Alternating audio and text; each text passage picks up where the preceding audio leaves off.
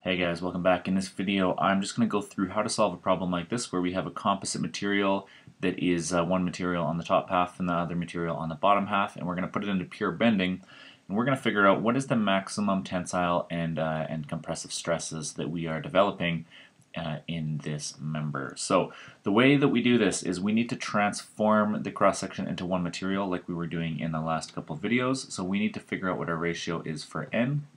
In this case, let's put it all Let's transform it all so it's a, a material of brass. So we'll put uh, 200 gigapascals.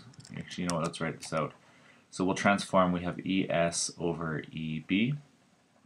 And that's going to give us 200 gigapascals over 100 gigapascals. And that just gives us that number of 2 for N. Now what we do is we need to multiply the area of steel by N in a direction that is parallel to the neutral axis and we'll end up getting the transformed composite section like this, where we've just increased the area of steel by 2, so now its width dimension is just twice as wide, so now it's 60 millimeters before it was 30 millimeters.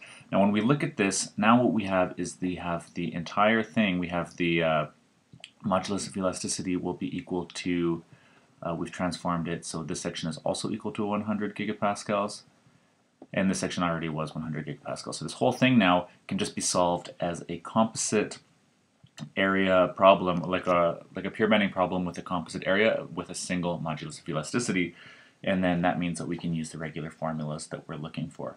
So what we want to really do is we want to plug in, we want to figure out the the y bar, uh, the centroid, the location of the centroid of the composite shape or the transformed area and that is this expression. It's the sum of the uh, the y bar of times a of the parts over the sum of uh, the areas by parts. So we're just going to find uh, the area, we're going to find the centroids of each section and we'll throw them into this table as well as the areas of each section 1 and 2 and then what we want to do is we just want to throw in the, uh, the y bar times a term which was just this column times this column, you get these when we sum them up, and then we actually can uh, plug in the sums here because we have them, and we find that the centroid of the composite or transformed shape is 35 millimeters from the bottom.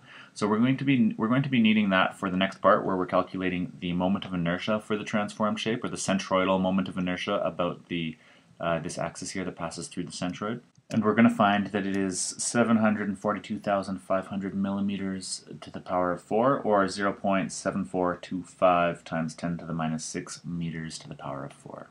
And now that we have that, we can go and calculate the max stress that's developing in the brass section.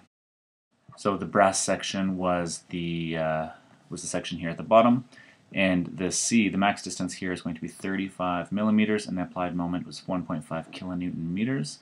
So we can drop all that in. And that works out to 70.7 uh, times 10 to the 6 newtons per meter squared. And right, there's 2 meters on the top, 4 on the bottom, so that's where that comes from. And that 10 to, 10, 10 to the 6 newtons 10 to the 6 newtons per meter squared is just megapascals, so that's 70 0.7 megapascals. All right, and now this is truly, uh, uh, this is equal to the max stress in the untransformed region, right? Because we are looking, this was, uh, we just did the bottom section here, and this was brass, and the, the most extreme distance fiber here at the bottom is in the untransformed section. Um, and so the way that we say that is that is actually equal to the max stress in brass in real life, which is the max tensile stress in the member. Because this was the untransformed section, we didn't tamper with the area in our calculations, and so this is all good to go. Now, for this steel section, we want to find out, well, we were looking for the max uh, compressive stress, so that will be up here at the top, and it will be in the steel section. And when we're dealing in this transformed section, that's going to change a little bit how we solve it, but let's just plug in the values that we have. And this 0.25 meters here is the uh, is the distance from the neutral axis up to here. It is uh, basically it's 60 minus 35, and that gives us that 25 millimeters, which is 0.025 meters. So if we just run this, we end up getting 50.5 times 10 to the 6 newtons per meter squared. Uh, and this is uh, 100, or sorry, this is uh, megapascals, so we get 50.5 megapascals. Now this 50.5 megapascals uh, is the stress that we're that we just calculated in the, the extreme fibers of the transformed area or region. But what we did here in this calculation is we inflated this area by a factor of n. In this case, n was 2. And so this value here for the transformed section is actually reduced by that factor. So in real life, to calculate what the stress is actually at that most extreme fiber in the steel, we need to multiply it by the factor of n. Uh, to kind of take out that inflation of area that we created. So one way that we can write this is uh, we want to calculate the the max stress in the steel in real life and so all we have to do is we just take n times the the max stress that we've calculated at that point in the transformed section right and so this will bring back uh, this will reduce basically that area by a factor of n or just correct it to what we had altered it up here uh, so in our case, n was 2. And uh, the max stress that we had calculated was 50.5 megapascals. So that means we're going to be actually getting 101 uh, megapascals. Uh, and this is the max compressive stress in the member. Now if you guys are like me though, I prefer to see a visual representation of this.